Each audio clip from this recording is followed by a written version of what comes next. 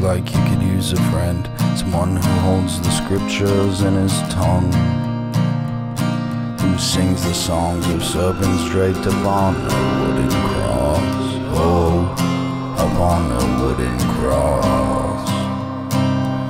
Such an awful, wicked land. Mary, Mary, take my hand, lead me to the King you saw once rise. My eyes and tell me I am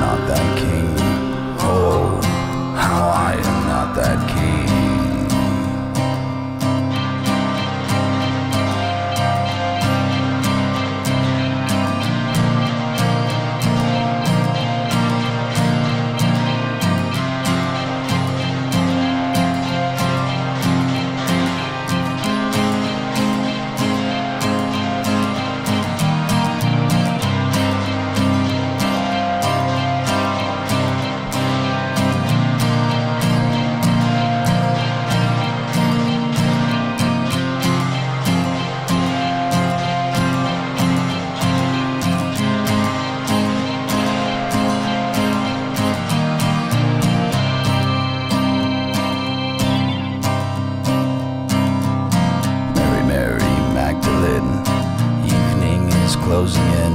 Let's sail upon the seas in which I drown. Let's spit upon the sword and crown and fall beneath the waves. Oh, let's fall beneath the waves.